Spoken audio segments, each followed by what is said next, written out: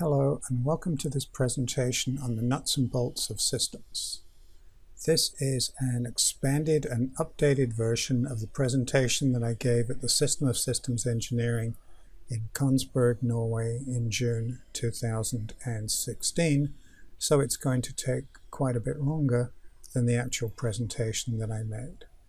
I'm going to talk about eight topics, the effect of desired and undesired emergent properties, how the system development process relates to the iterative problem solving process, the relationship between the whats and the hows of systems engineering, how subsystem boundaries can change during system design, how the solution to one problem often creates a subsequent problem, the effect of unanticipated problems on the schedule, examples of use of the problem formulation template that I teach in my other classes, and some of the lessons learned from the widget system place, and I'm also going to talk about iteration and how we show it and how we should not show it. So I'm going to look at the situation from some of the holistic thinking perspectives. If you don't recognize what these are, please stop this presentation now and go back and pick up the other presentation that discusses them or you'll be able to follow the rest of this presentation with, without an in-depth knowledge of the perspectives. So this presentation might encourage you to go back and look at the other one as well. The big picture, well, the widget project, it's the first project of its kind so that there are no similar systems in existence. Okay, a, a project like this is building a spacecraft for the first time, building a bridge for the first time, and so on. The system comprises two major subsystems, Part A and Part B, and I'm going to abstract out all aspect of the system uh, development except for the approach to mechanically fastening the two subsystems together. So from a structural perspective, let's take a look at some definitions. First, a definition of a system a set of different elements so connected or related as to perform a unique function not performed by the elements alone. Now there, this means that there are at least two elements or subsystems. There's a relationship between the elements and their interactions between the elements which is often the same as the relationships, but not always. And There are many other definitions, but this is pretty much a minimal one that is included in most other definitions. And then I want to define emergent properties, looking at, this, at the system from the continuum perspective. They can be desired, undesired, known, and unknown. So, this is the first slide that wasn't in the original presentation, or at least it was hidden because of the lack of time. There are four types of emergent properties, desired, undesired, and, and each one, and known and unknown. So you've got desired, known, desired, unknown, undesired, known, and undesired, unknown, or you can look at it the other way and say known, desired, no undesired, and so on. You've got two tables here that show you a desired, known, emergent property is the purpose of the system. That's why we build the system. So all those parts, when they're working together in harmony, are doing what the system is supposed to do. And there are also known undesired emergent properties. These are flaws that occur every time, such as a design flaw. Uh, electrical engineers working with high frequency circuits know that the circuits are often prone to oscillation, which is undesirable. So they put in components to dampen out that oscillation. Mechanical engineers will do similar things when they identify that there's a, a tendency to wobble or something. They will put in a stabilizer. And a flaw is something that occurs every time. A risk is something that has the probability of occurrence. And then there are desired unknown. How can something be desired unknown? Well, all of a sudden it becomes known. But it wasn't the purpose of the system. And we call that serendipitous. I didn't know the system could do that. Wow, I want it to do that. That's great. And serendipity also provides opportunities. And then we have an undesired, unknown emergent properties, and we usually call those defects. Now, another definition from the operational perspective is the systems engineering process. Traditionally, this has been taught as the egg diagram, and this is the way I used to teach it 16 years ago at the University of South Australia. Now, I can define and explain every word, every phrase on this chart, and the explanation would be totally, totally useless to anybody who wants to learn how to practice systems engineering. That's just one of the problems with teaching systems engineering in the traditional way. And also, this is not a process view. It's an egg. So what is the systems engineering process? Well, a process is represented by a flow chart. And you look in the literature and you will see a number of different versions of the process. You've got the egg in MIL Standard 499. You've got another drawing in IEEE 1220. There's a list of processes in 1528. And then you've got the waterfall, the spiral, the V, and so on. And then there are other ones. So which one is the process? And then if we use the egg diagram as the process, how does it map into the waterfall view?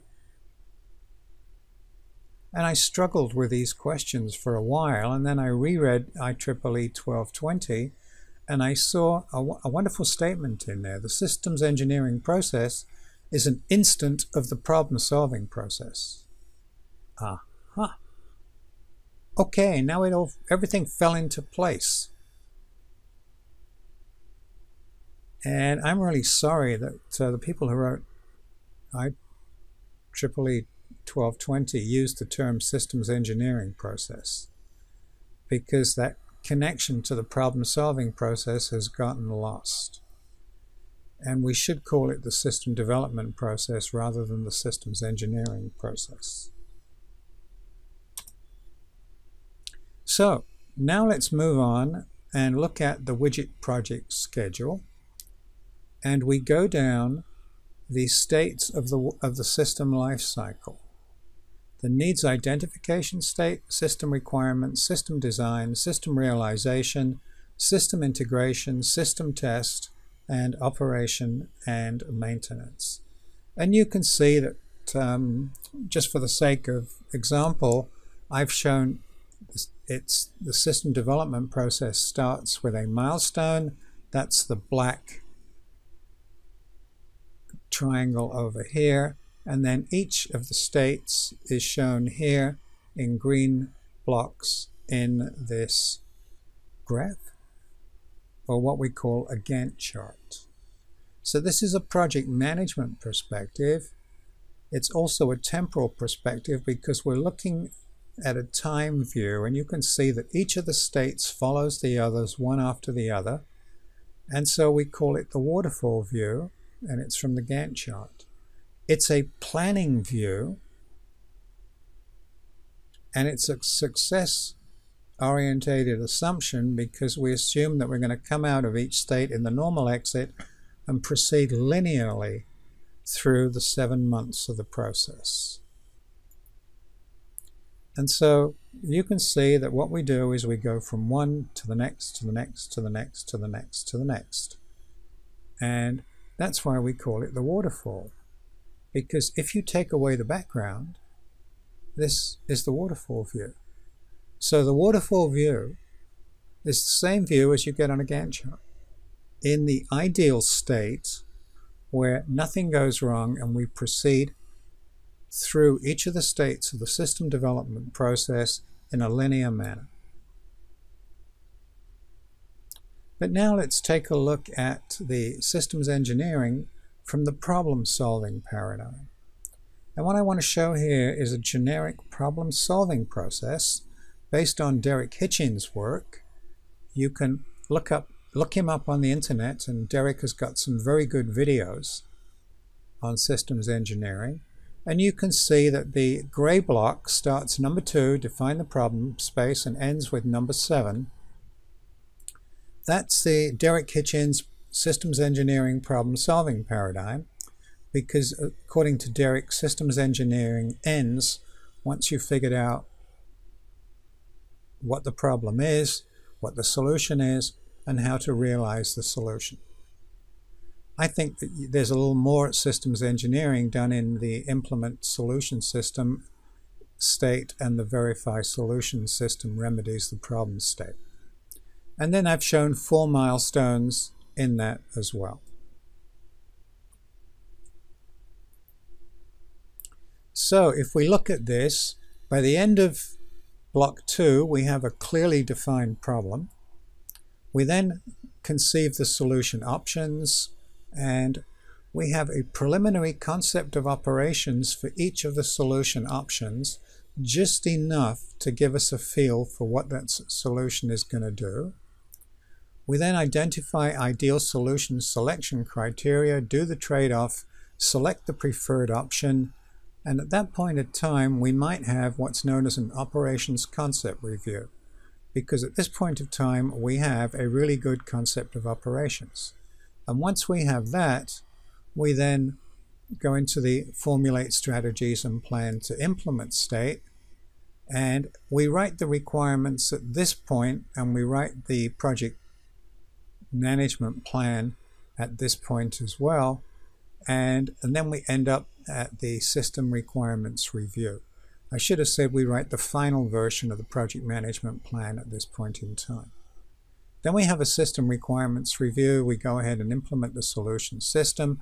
We will have the critical and preliminary design reviews inside block 9.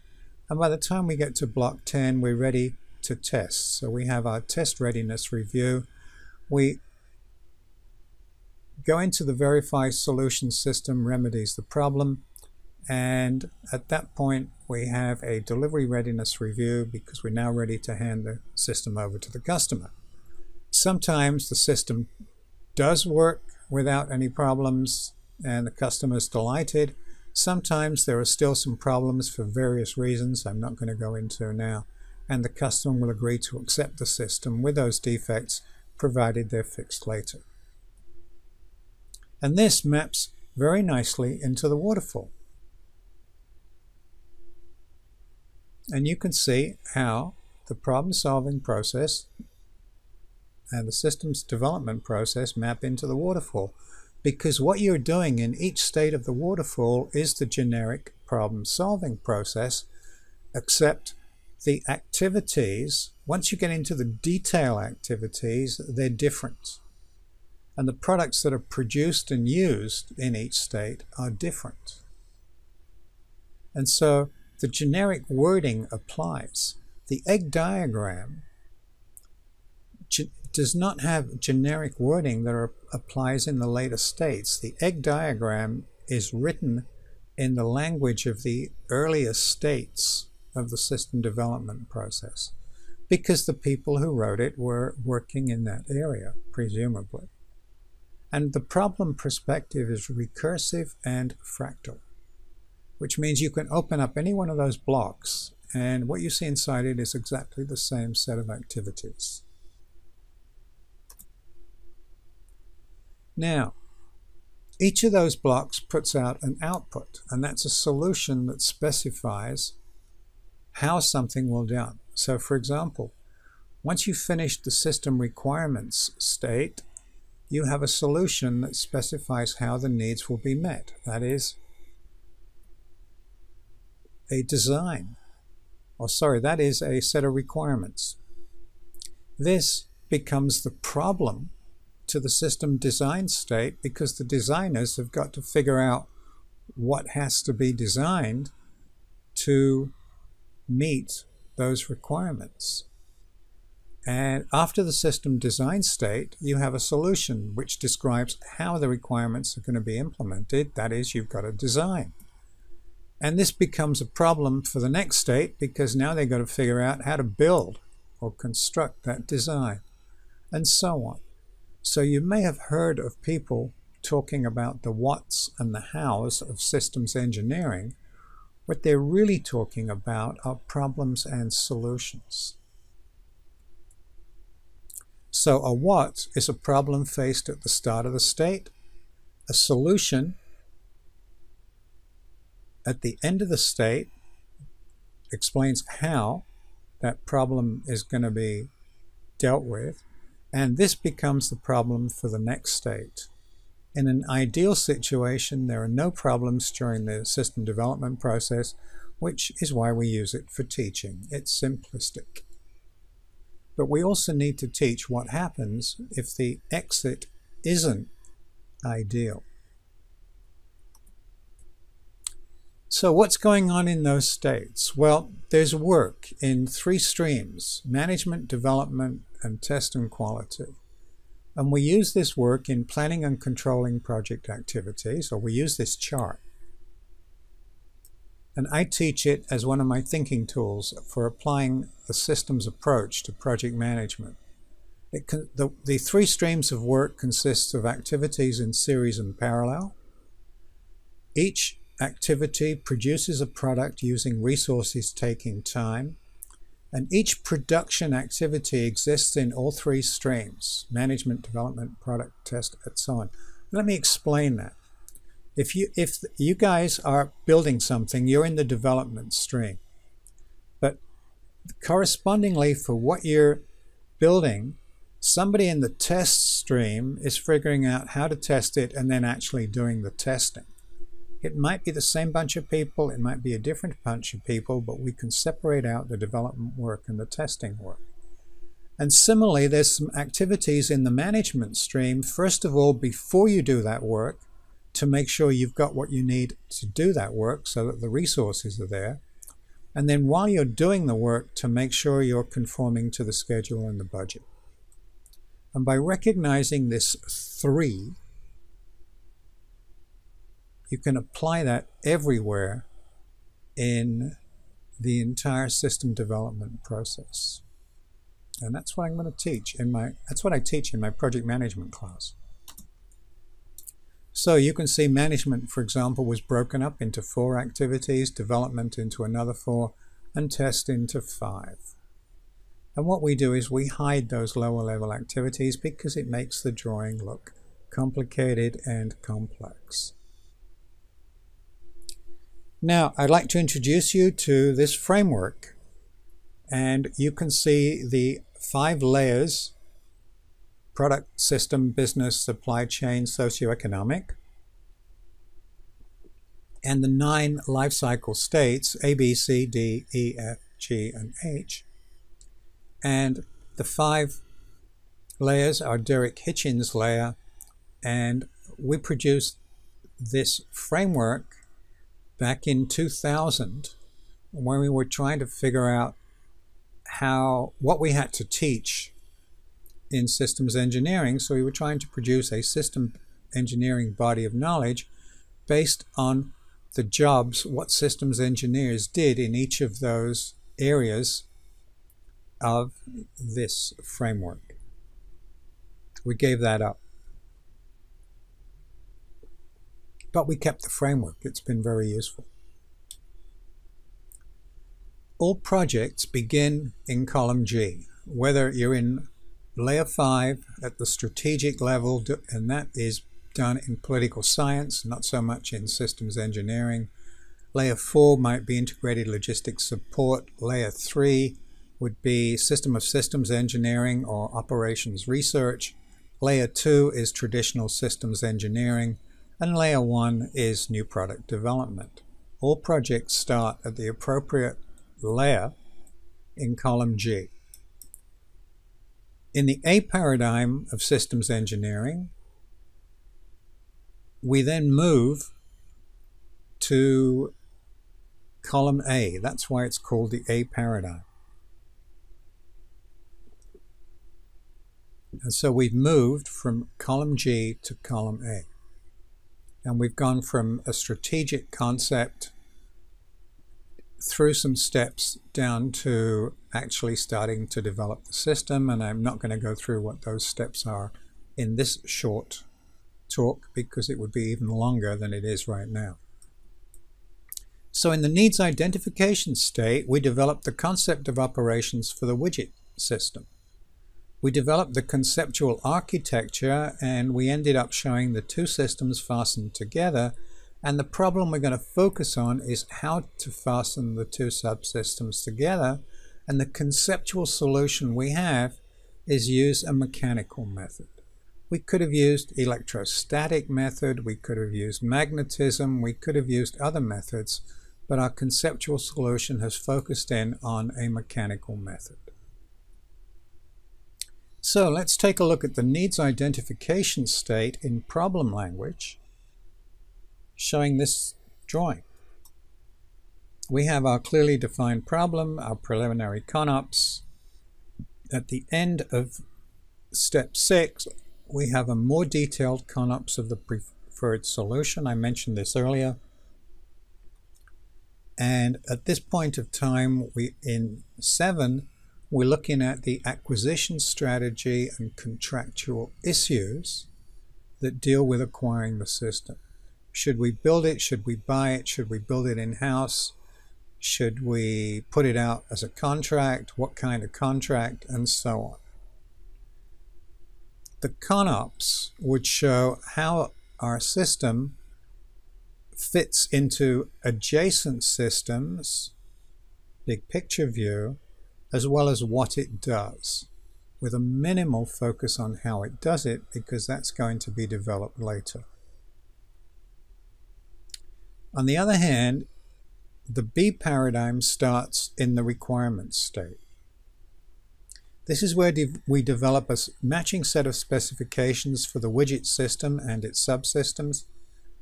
Are we going to, and so we have decided in our widget system that we're going to buy it, we're not going to build it.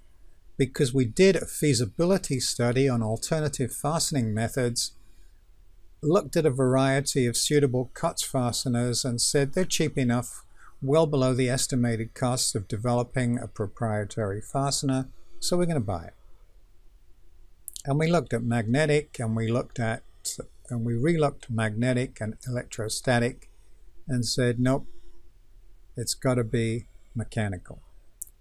And so even though the requirement limited the designer to the use of COTS, mechanical, which is how it's going to be done, the requirement still specified the what because it didn't tell you which to pick. The requirement said the system shall use a COTS fastening function to fasten the two subsystems.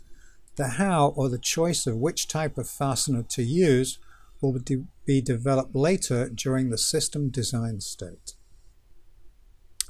So, we can split the system requirement state into two. Let's take a look at what happens in the development and test streams of work.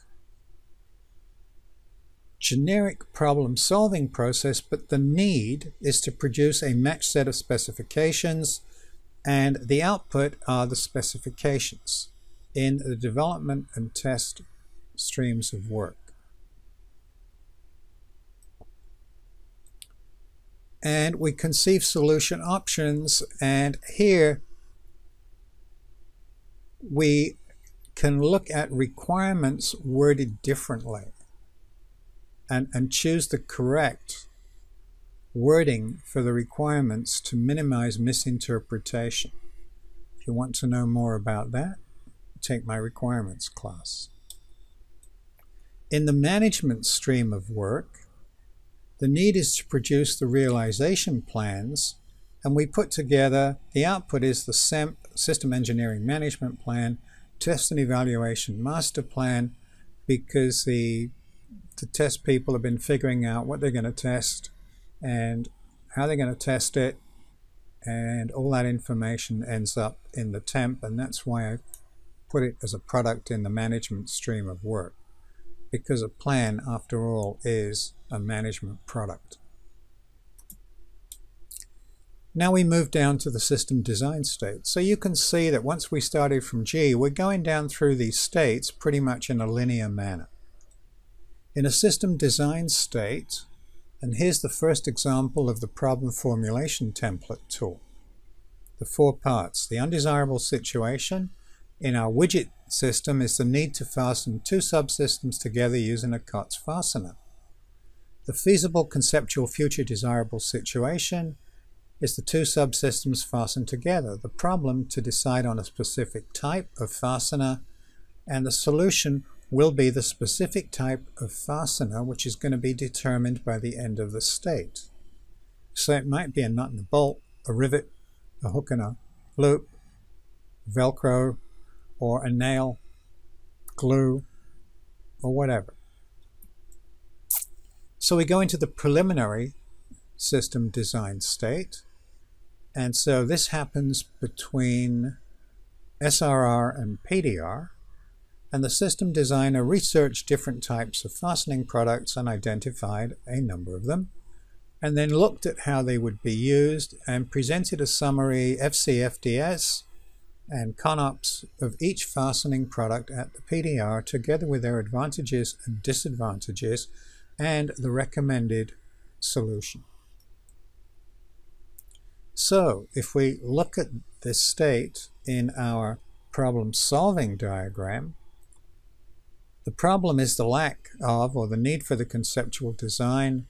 We have some conceptual design, we conceive the conceptual designs and we look at their advantages and disadvantages and those and then we make the selection based on the, solution selection criteria and how we weight them and we end up with a selected conceptual design. In the system, in the design state substate 2, which happens between PDR and CDR, we have the need to convert the conceptual design to the physical design. We look at alternative physical designs and we select a physical design and then we go ahead and sort of draw the designs and, and figure out how we what we're going to do a little bit further. So the management people are busy updating the management plans in block 7. So in the design substate 2, we do some trade-off studies and we show that uh, the alternatives and the selected solution accepted by consensus at the CDR was to use a nut and a bolt. So when we have our system drawing, we show the system with the two parts, A and B, and I've shown a partial view here because the, the A's and B's will be complex enough to have their own subsystems, and there's your example of sub A1 and sub A2. On the other hand, we now have a third subsystem, or potential subsystem, which is a nut and a bolt subsystem that consists of a nut and a bolt. So looking at this from a number of perspectives. From the generic perspectives, a nut and a bolt are generally used as a subsystem to fasten components together. They're not really a system on their own. From the continuum perspective, we can predict that since the system is the first of its kind, unanticipated, unknown, and accounted for factors at design time may emerge when the system has been constructed, and these might have or will have a negative or a serendipitous effect on the system. So we can expect to see all four types of emergent properties.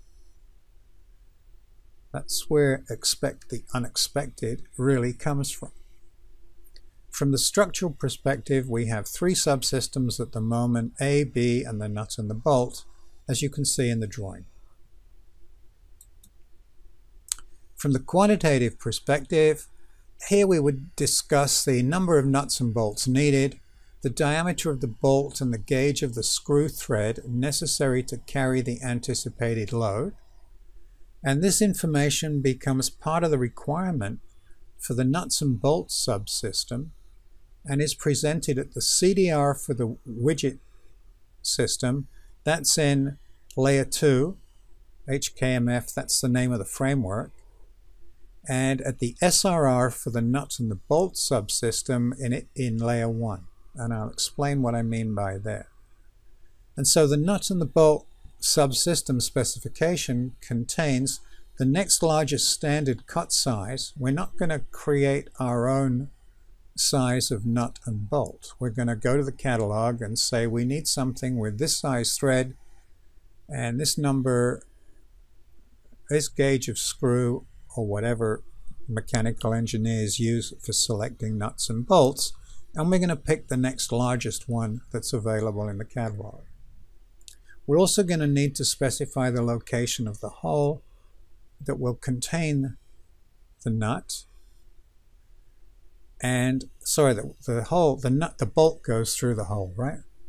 And the necessary clearance on the surface of the A and the B systems for the nut. And once the system design state of the SDP has been completed at the CDR each of the subsystems begin their own system development process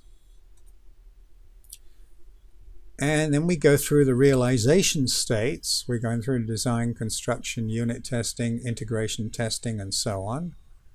And each of the subsystems will then go through their own life system development process at the product level because the nut and the bolt are considered to be products as far as this system is concerned.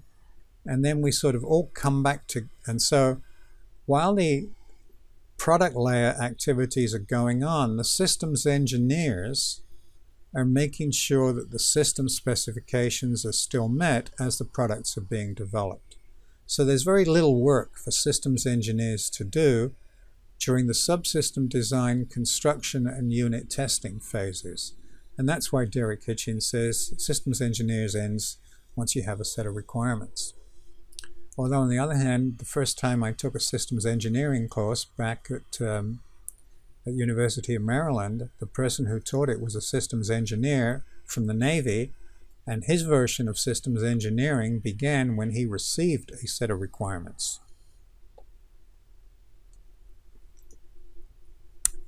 So we go through the realization state. Each system is being worked on in parallel. They come together and we do the integration and testing. So in the system constructions, the realization states are the construction, te subsystem test, and system integration state. The A and the B subsystems are sufficiently complex to have their own systems engineers, and so the widget system engineer liaises with the subsystem systems engineers responsible for the A and the B subsystems to ensure that, including everything, the, the holes, the specified matching holes are in the right places and the holes align as specified and deal with other issues, power weight and so on that have been abstracted out. And we're lucky there were no widget system level problems arising during these states. So we get to the system integration and test states and we run the system test and the test conditions simulate the scenarios in the ConOps where the system experienced different degrees of vibration. Oops, we have a problem. An undesirable emergent property showed up. It's an undesirable situation. Under some test conditions, the system came apart. The nut and the bolt no longer had the capability to fasten the subsystems together so we did a test, we investigated what was going on, and we found out that the system was fine as long as it wasn't subjected to vibration. Once the system experienced a vibration greater than n units, the nut and the bolt began to separate. Oh dear. Major problem, back to the drawing board. So from an operational perspective, I can say the desirable emergent property is a system that's held together by the nut and the bolt. And here, an unknown, und hitherto undesirable emergent property shows up that under some conditions the system comes apart. And we do some investigation and we find out that it's vibration at a certain amplitude and frequency. And so this unknown undesirable emergent property was only unknown in its first implementation. It becomes a known systemic undesirable emergent property. It's a flaw and it must be compensated for every time. So we're back to the needs identification step. So we've moved back from F to A. If we show the waterfall in the traditional functional perspective, you can see we go down from this one, this one, this one. We're down at system test, and then whoops, we don't get to the O and the M state. We go right back to the needs identification state. We never get to exit. So this is the traditional functional view of iteration. And I'm showing the normal exits and then we get to one abnormal exit. And we're back where we started. We have a little more experience. We know more about the system this time around, and so we go down through the cycle again. But it's seven months later. So I can show you the revised schedule. At milestone six, it's, whoops, we've got the problem. So we then have to replan the work and we figure it's going to take exactly the same time to go through each of those states. And so I've got the additional six months delay and the second iteration of the system development process began in month seven and in this and it's going to end we hope in month 13 and it's shown in red because it's warning not supposed to be there, unplanned. And so this is shown at the milestone review and everybody says, okay, back to the drawing board, we will accept the new schedule. And you can see if I show it in the waterfall format, whoops, back we go up and we're going to go down again. So I'm showing once around the waterfall this way as well. And you can see where the delay comes in. We've gone from 6 to 13. Then we do some further analysis. We do an analysis of, of, the, of the magnitude of expected vibration in each of the operational scenarios in the con, CONOPS. That's why we went back to the needs identification state because we're getting an understanding of the situation. And if it's not a difficult problem, we might sort of do a mini loop, a mini waterfall inside the the system test state. We would sort of add that on to the system test state. But what we would be doing inside that additional activity in the system test state would be a mini waterfall that goes through the entire system development process in miniature, in a sense, inside the system test state. So you could compress the red, all the red bars here into extending the system test state. But I've shown it in this way to make it very clear as to what's happening. We do the analysis and we find that no anticipated mission was expected to produce a vibration greater than 1.5. Okay, that's great. So we write a new system requirement. The system shall not come apart when experiencing, when experiencing continuous vibration of greater than 1.5 for up to 30 minutes. It's a poorly worded but understandable requirement. I mean, the, what do the words come apart really mean? A well-written requirement would specify a measurable minimum value of torque, if any, still holding the nut and bolt together after 30 minutes of vibration. Where did that 30-minute time limit come from? It came from the scenarios in the CONOPS. The system would never experience uh, that amount of vibration for more than 30 minutes at a time. So we now have a new schedule. Everything's good. The red has changed to green because we've accepted the new schedule. And it still looks bad because it shows repetition. And I've shown it here. Traditional approaches hide, some of the traditional approaches hide that repetition in here. And so you see a little box here, a little box here, a little box here, a little box here, a little box here, and a little box here, and a little box here inside an extended system test state. But this is an educational package, so I'm showing it what we really do. And because it looks bad, we ought to show it like this. And again, we hide this lower half in here in an extended system test state here. We then move down through the process again. We come to the second system design state. And, and so we formulate the problem as the undesirable situation is a system comes apart when experiencing vibration greater than 1.5. The desirable situation is the opposite. The system doesn't come apart. The problem is to create the FCFDS, and the solution is a way to compensate for the effect of the vibration. So we examine a number of different ones. We, we talk about putting some glue on the nut and the bolt or whatever, and we decide we're going to use a star washer. There's some tension there. And so we do some testing and we validate the solution and we say that's great, the star washer works. So we now have a modified system. We've got the three subsystems, A, B, nut and bolt, and we have a star washer. What are we going to do with the star washer? Well, we're going to put it between the nut and the bolt. But how are we going to document this?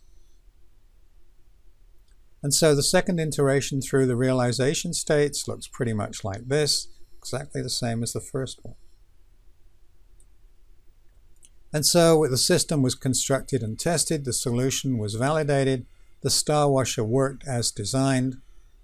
And so we then reverted the system development process to the end of the initial system test state in month 12.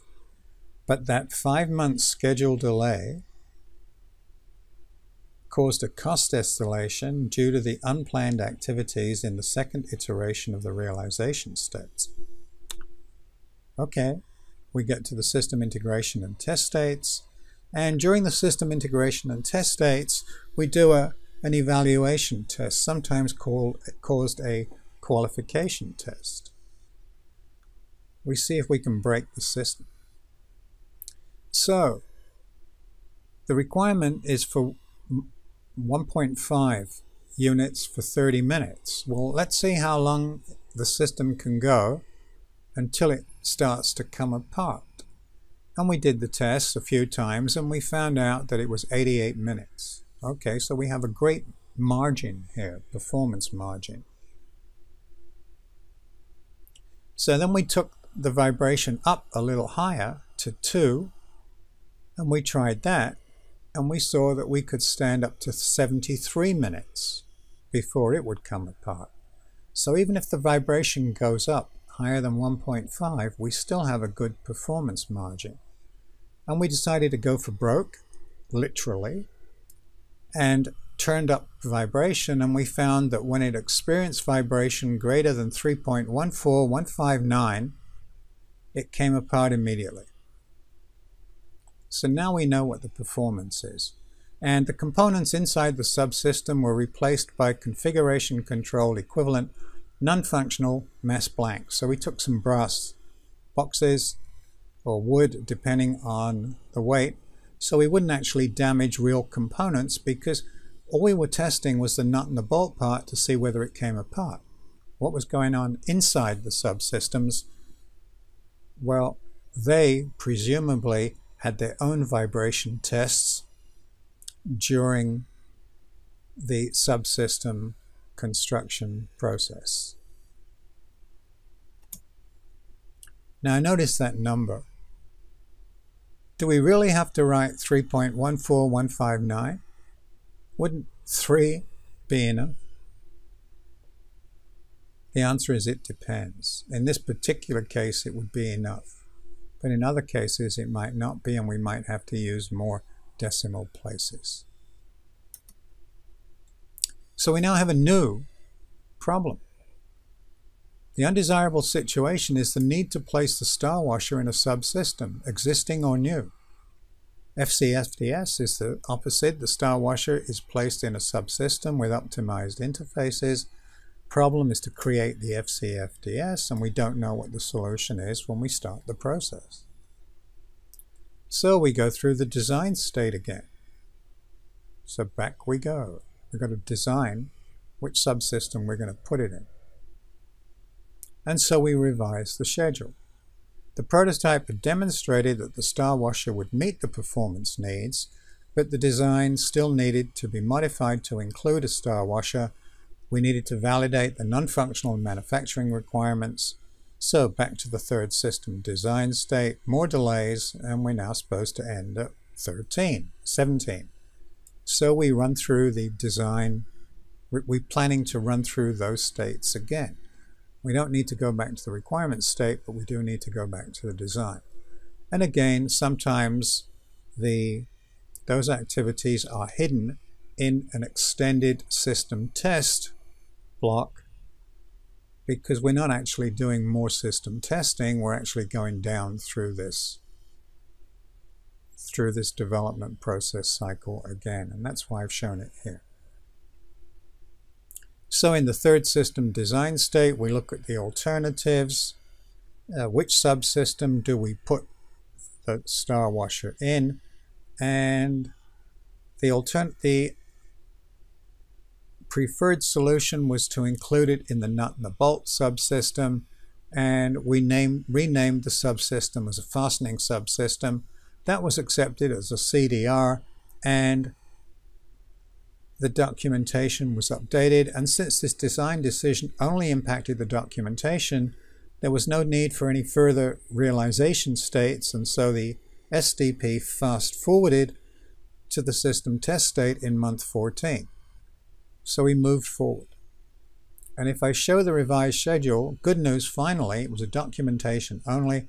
We can skip the realization and system integration states. We picked up two months as you can see on the drawing where the green arrows move back and be, where the green blocks in 16 and 17 move backwards in time, forwards in time, move backwards in time to blocks 14 and 15 and we now plan to end at month 15.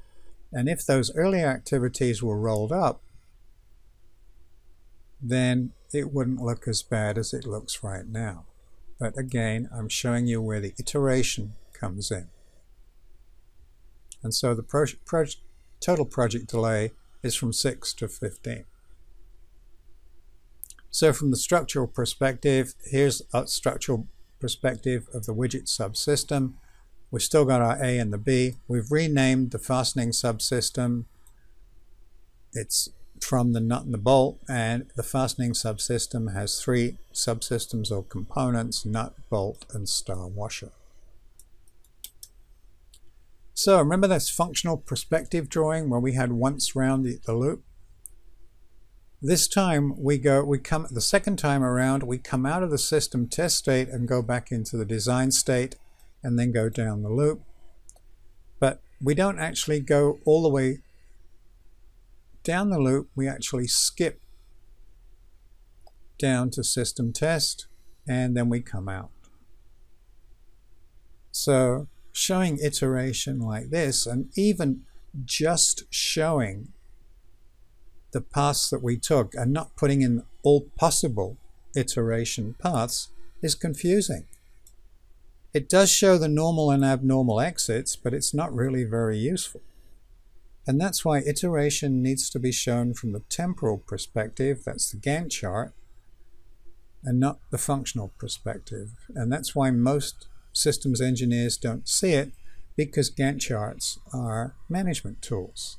But they can also be systems engineering tools, and they should be. So our completed project, we get to milestone 15. Good news, no further problems. The project ended. And there are some handover activities included in the project after the O and the M state starts. and that's why the project doesn't actually end until the O and the M state has started. And again, iterations need to be shown from the temporal perspective, not the functional perspective, so you can see where we iterated back at um, milestone at the end of six months. We iterated back at the end of 12 months, but we iterated forward at the end of 13 months and then completed in the normal way. If I show it like so, it hides the iteration, but it still leaves that little blank. And so I can show it like this. Looks better, it's hidden. And so there are various ways that you can use the Gantt chart to hide the, the poor schedule performance. Because remember, every time there's a consensus that we accept the delay, we replan the project and we reset the baseline. It's only if you look at it as a whole and you look at the whole timeline. And quite often the early months are, disappear and you're only shown the, the stretch of time that you're in. We ought to show this one like so because at the end of six months, we're over. Some projects do show it, some projects don't show it. Which one, which is correct? Well, it isn't. There isn't right and wrong. It's acceptable.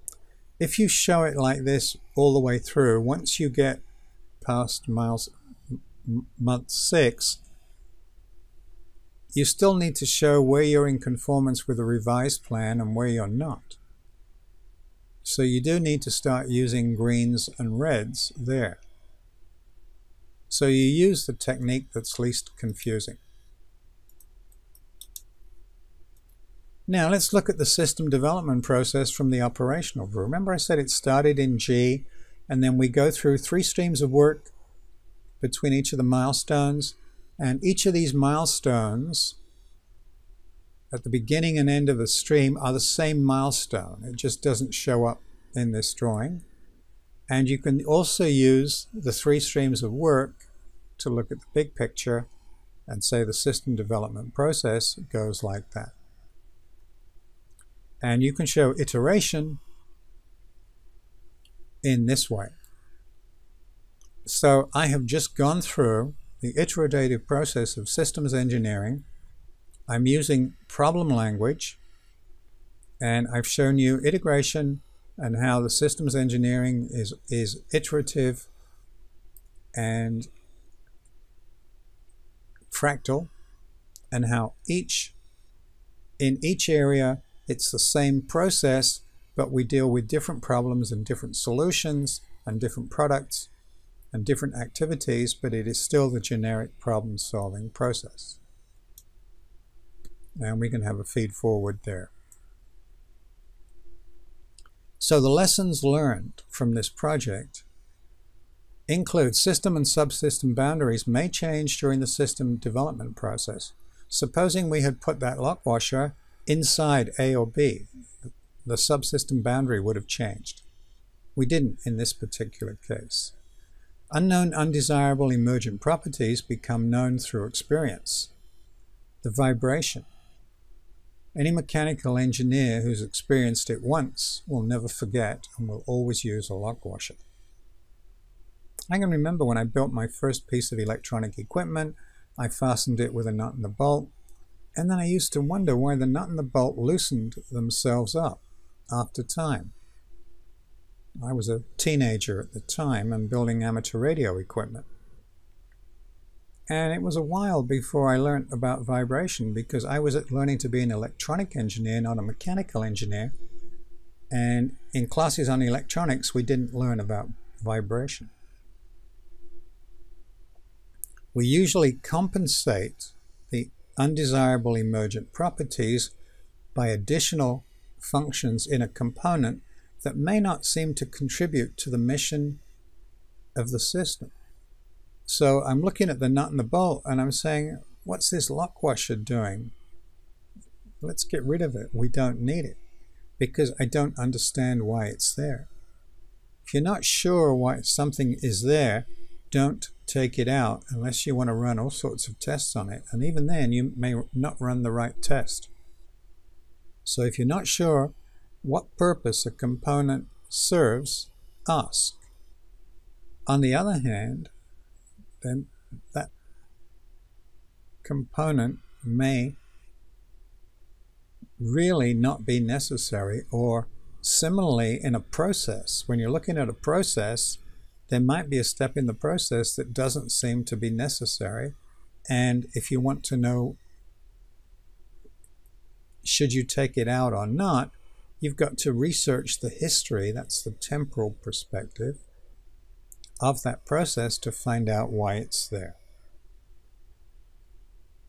and I can give you an example I went, I visited Israel earlier this year, gave a talk at a conference, and when I come out, I go through passport control and they give me a little piece of paper. A little piece of paper. And I take this piece of paper, I go around the corner, I put it in a machine, and that lets me through into the departure lounge. And I think to myself, why do I have to take this piece of paper, walk around the corner and put it in a machine to go through the departure lounge? It's totally nugatory.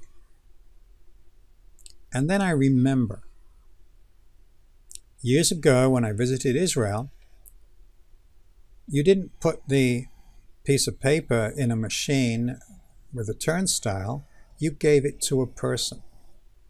And I wondered then, why is that person standing there collecting that piece of paper from somebody who's just walked around the corner? And I thought about it and applied some systems thinking, and I thought, well, Israel was a socialist state. And so, what the government, and this is, I don't know if this is the real solution, but it sounds plausible to me.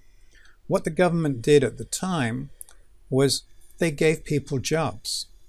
And so they created this job that there was a person who, ha- who had a job collecting the pieces of paper from people leaving the country. And instead of collecting unemployment benefit and sitting around doing nothing all day, the person had a job, had dignity, and felt they were doing something useful. And then, of course, there were spin offs here because somebody else had to create the piece of paper and print it and so on. And so, don't remove something that you don't understand why it's there. In this particular case, we could eliminate the piece of paper. But as the Israelis do, they use a bit of systems thinking here. And when you arrive in the country, they also give you a piece of paper.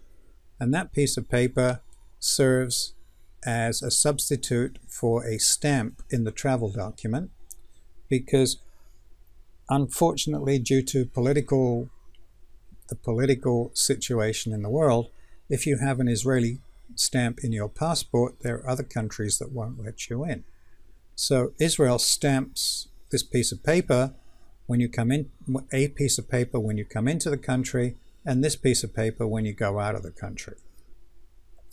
At least one piece of paper serves two purposes. They could have had two pieces of paper. In summary, I talked about the effect of desired and undesired emergent properties, how the SDP relates to the iterative problem-solving process, the relationship between the whats and the hows, how the subsystem boundaries can change, how the solution to one problem often creates a subsequent problem, the effect of the unanticipated problems on the schedule, gave you some examples of the use of the problem formulation template, which is described in another video presentation, talked about some of the lessons learned from the widget system case, and discussed iteration and how it's best shown.